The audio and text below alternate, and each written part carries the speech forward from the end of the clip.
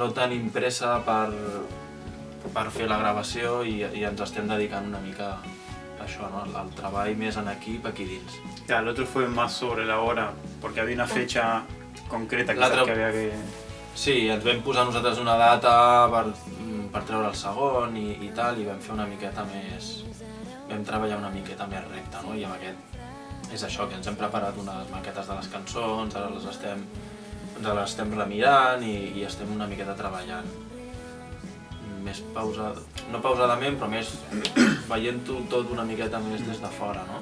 A veure, l'altre disc eh, eh, dèiem, hòstia, vam treure el primer i tal, i bueno, és allò que dius, "Ah, ens estem adormint i, i si passa molt de temps entre el primer i el segon, no? les coses aquestes, que, les pel·lis que et muntes, no? de dir "Ah, que la penya després s'oblida de tu, que no sé què, que tal i qual, i aquest tercer ens hem donat per morts a nosaltres mateixos.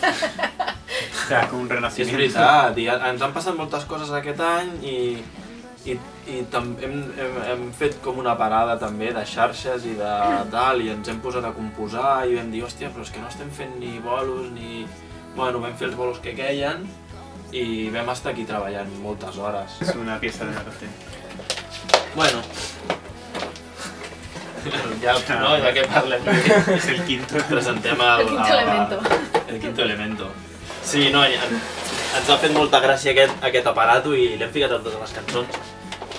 És un cinta analògic dels anys 80 i dona molt de caràcter també. No hi ha tanta imatge o tanta metàfora o no... Potser no és tan... perquè... Bueno, hi ha gent que m'ha dit, joder, és que fa... és una mica críptic les coses que dius. Crec que aquesta vegada vaig més... Sí, sí, Tiro més pel dret.